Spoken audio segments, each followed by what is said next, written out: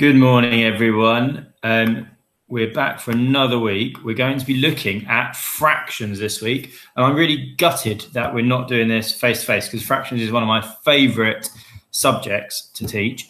Um, it's going to be a bit tricky doing it on the computer like this, but I think I'm confident that we can manage this. You were all amazing at getting on to do the online quiz last week. That's really important because I'm going to use that quiz to see what gaps we've got, what things we need to go over again, and then make new lessons based on that. So it's really important that you're honest on those quizzes. And if you get something wrong, it doesn't matter.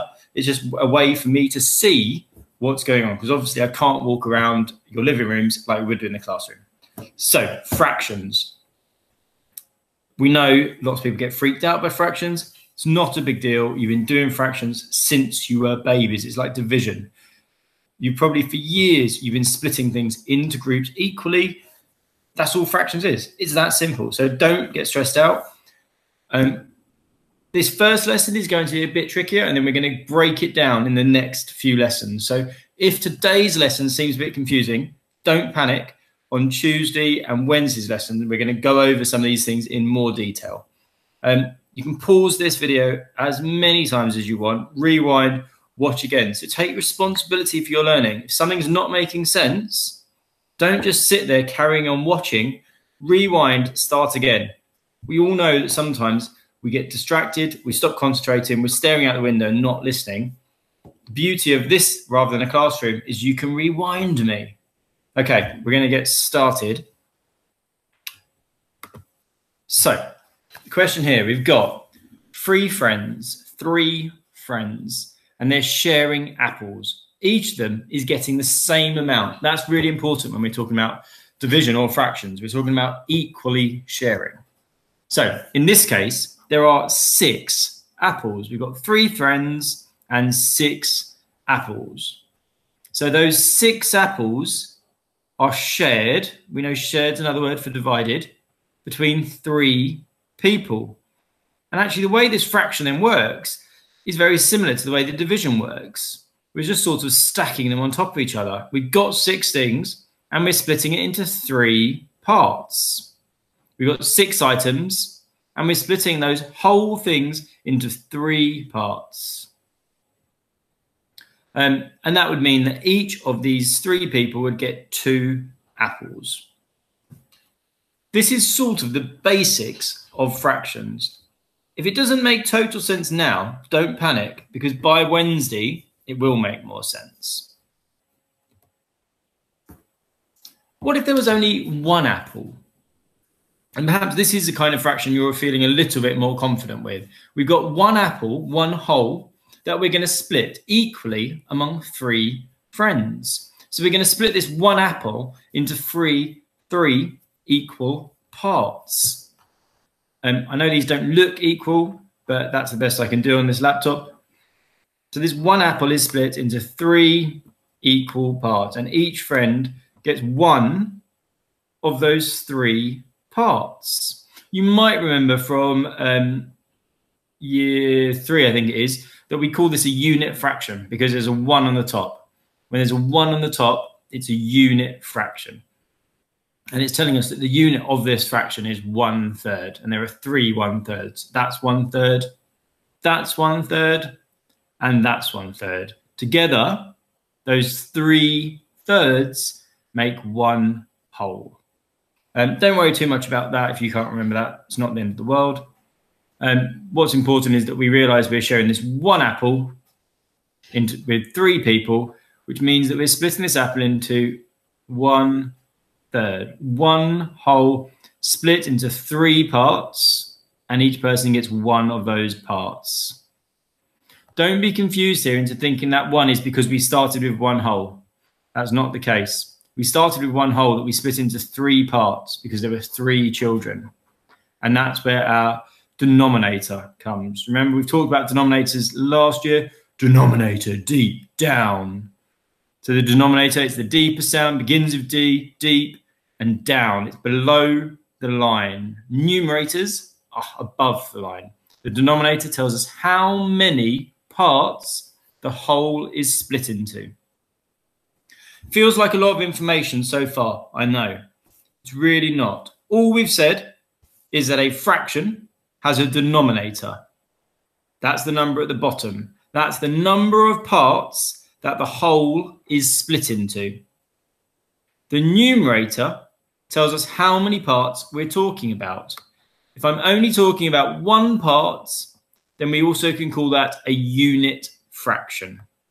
You can remember that because when we talk about our place value grid and we have uh, ones or units, tens, hundreds, thousands, unit is the same as one, one. So a unit fraction is where the numerator is one. The denominator tells us how many parts the whole is split into. What if there were five apples? What if those three friends are sharing five apples? Pause this video for a moment and think about how you might do deal with that. Brilliant. Hopefully you've had a chance to have a look. Well, there's a couple of ways that we could deal with this. Both of them get the same result. So let's look at one, um, one method we could use. I've got my five apples here, one apple, two apples, three apples, four apples, five apples. I'm sharing them between three people. So I've cut each of those apples into three parts. One of my three people is all going to get each of these red thirds. They're going to get five times one third, one third, one third, one third, one third. Someone else is going to get five of the other one thirds, one third, one third, one third, one third, one third. So what we start to see is that each friend is going to get one, two, three, four, five thirds. They're going to get five parts of an apple cut into three parts. Sounds a bit confusing there because we can't, we're using that word parts in different ways. This piece here is one third of an apple. Now, I might be able to be one one third of an apple. I might be able to have two one thirds of an apple. I might be able to have three one thirds of an apple, which would be a whole apple. But I could have four one thirds of an apple, five one thirds of an apple, six one third. I could have a hundred one thirds of an apple. The one third just tells me that that is the size. It's an apple cut into three equal parts. The number of them I have can be anything.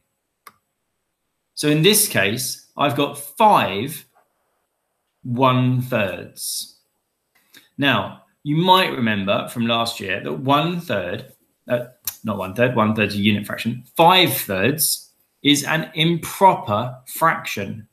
It's improper because the numerator, the number at the top, in this case five, is greater, it's larger than the denominator, three. When that happens, when the top number, the numerator, is bigger than the bottom number, the denominator, we call it improper. When that doesn't happen and the bottom number, the denominator, is larger than the top number, we call that a proper fraction. So 5 thirds is an improper fraction. So we might change the way we write it. We might change it to what we call a mixed fraction. It's a mixed fraction because it's got a whole number and it's got a fraction. We're mixing whole ordinal numbers and we're mixing fractions together. So we would change five thirds. In fact, let's get our five thirds over here. I know they're different colors, but here's one third, here's two thirds, here's three thirds, here's four thirds, and here's five thirds. Let's get rid of that third over there. Well, these five thirds actually, when I piece them together, I can see that I've got one whole and then I've got two thirds. So five thirds is the same as three thirds, a whole, and two thirds. And we can see that written here. Five thirds, five over three is the same as one and two thirds. And we know that one and two thirds is a mixed number. So if we were sharing five apples between three friends, everyone would get one apple and two thirds. We could have solved this a different way. We could have split our five apples, one apple, two apple, three apple, four apple, five apple, we could have split them into three and two. And we could have seen that everyone here is going to get one apple each. And each of our three friends will get one apple. And I'm left with two. And I want to split that two, that remainder would be what we call it in division, into three parts. So again, I've done exactly what I did before. There's my one whole, there's my two whole, my two remainders, and I've cut them into three equal parts. And each of these people will get one whole apple and they'll get two thirds. Exactly the same answer, a different way of doing it. Um, both ways are right, both ways work. It's just whichever one seems more comfortable and logical for you. Right, just to recap, because we had some extra work language in there. Improper fractions are when the numerator is greater than the denominator. We can also represent that as a mixed fraction by taking away the whole. Three thirds was my whole. I've removed that from my four thirds and made it one whole and one third. And that would then become a mixed fraction because I have a whole number and I have a fraction. Right. So let's have a look at this. Seven pancakes are shared equally among five people. What fraction of a pancake does each person get? So seven pancakes split between five people. Pause the video for a moment and have a go.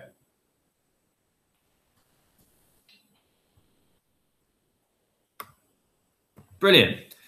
You might have written seven fifths, or you might have turned that into an improper, a mixed fraction and made it one and two fifths. So the same way, um, in the same way we just did the last part, you might have split each of these into fifths, each pancake into five equal pieces and counted them up. Or you might have said, here are five wholes, That's the one. I've got my remainder of two, which I'm going to split into fifths, and everyone's going to get two of those fifths. Either way would be correct. What about this question? 8 divided by 4 equals something over 4. I've put the answer as 2. Am I right? Right. Hopefully, lots of you realised that I wouldn't be right if I was trying to answer this question. 8 divided by 4 would be 8 over 4. But 8 over 4, if I wanted to make a mixed fraction, would be the same as 2 and 0 fourths. So if we were being pedantic, we could say the answer is 2. But for this question, where they've clearly put the denominator of 4, the answer would be 8 over 4. And then lastly, let's just have a look at these two. 9 divided by 4. How would we write that? Brilliant. Lots of you seeing that we'd write it as 9. Ooh, let's move that way. 9 over 4. Again, we might want to try and um, we might want to try and make this into a mixed fraction. And we would look at 9. How can I make that into a mixed fraction? Well, if I've got nine parts, one, two, three, four, that's a whole. So I'm going to take away four from nine. And that leaves me with five. One, two, three, four. It's another whole. So now I've made two. Can I write? Yep, two and I've still got one fourth left, one fourth left. So if I wanted to make nine fourths into a mix, and it hasn't asked you to do that, but if I wanted to, it would be two and one fourth, because I know that two times four is eight, plus one is nine. And um, just pause the video and just look at um, that again. Two times four is 8 plus 1 makes 9. What have I just done there?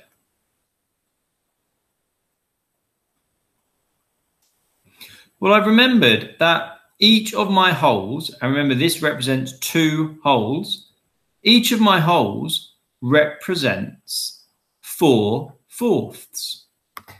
So I had four fourths, plus I had four fourths, my two, plus I had one.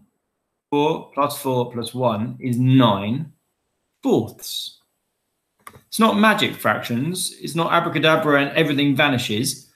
We're just looking at wholes and parts. And sometimes we can combine those parts to make a whole. And it makes it easier to talk about. Telling you you're allowed to eat two and a quarter slices of cake is probably a lot simpler than saying you're allowed to eat nine fourths of a cake. You're not allowed to eat any cake, just in case you're wondering. Right. Now, before you start this exercise, um, in the work on the worksheet, it does use the term simplest form. You probably remember it from last year, but just in case, simplest form, was about to say, is simply simplest form is just the smallest way you can represent a fraction. So you've done this when we've done equivalent fractions in year four and I think in year three. So if I have the fraction 8 sixths, 8 sixths, which I know is an improper fraction, then I can make this fraction smaller by using an equivalent, which means the fraction's the same. If I divide the 8 by 2, I go to 4. If I divide the 6 by the same number, so 2, I get 3. So I know that 8 6 is exactly the same as 4 thirds. That means 8 6 of a chocolate bar is exactly the same amount of chocolate as 4 thirds of that chocolate bar. So the simplest form of this is 4 thirds. Some of you might be asking why I can't just halve it again, because I know that 4 halved is 2 and 3 halved is 1.5. But fractions can only have whole numbers in them. They cannot have decimals. So the simplest way to express 8 sixths would be 4 thirds. Don't worry if when you get to this worksheet, you don't quite master simpling yet, presenting something in its simplest form, because we are going to look at that later. So I'm going to ask you to pause the video or stop the video, complete worksheet one, and then come back to this video once you've finished to check your answers. It's really important this week, well, in fact, while we're learning fractions, that you are checking your answers. So I want you to make sure you're looking to see if something isn't making sense. Be honest. If it doesn't make sense, first see if you can work it out. If you can't work it out yourself, then you can ask your parents to just send me a message so that I'm aware. On Wednesday, because Friday's a bank holiday. I'm going to get you to do a quiz so I can see what parts we're not understanding. But it's really, really important that you do check your answers and that you are honest. So pause the video now and go and complete worksheet one, which is page 125 and 126. If you haven't got your workbooks, you can download it from the PDF on the class story.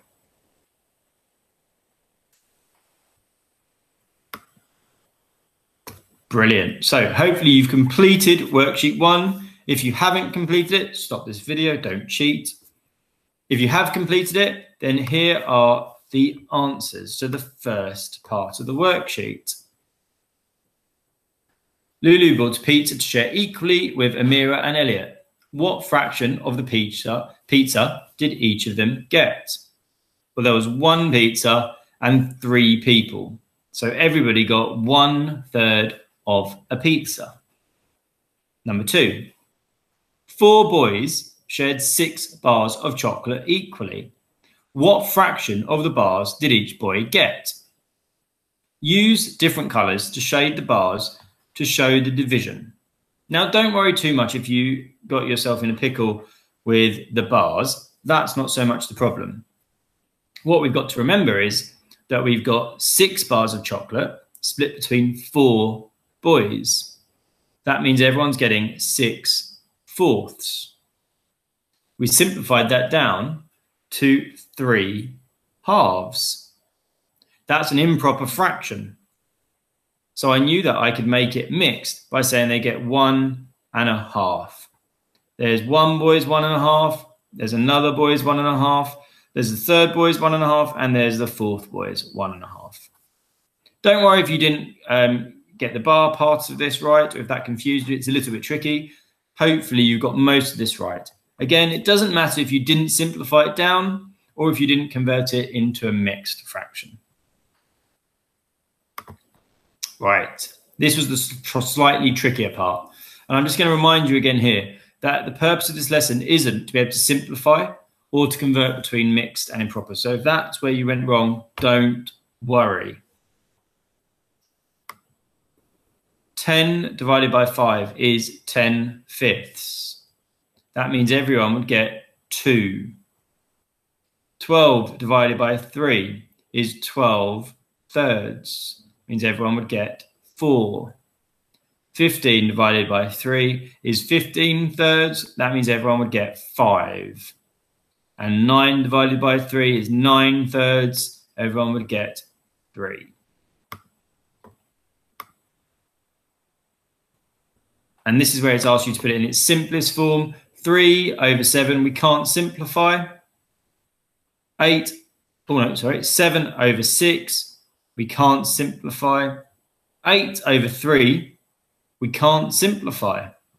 9 over 6, we can simplify that. Both of those numbers are in the 3 times table.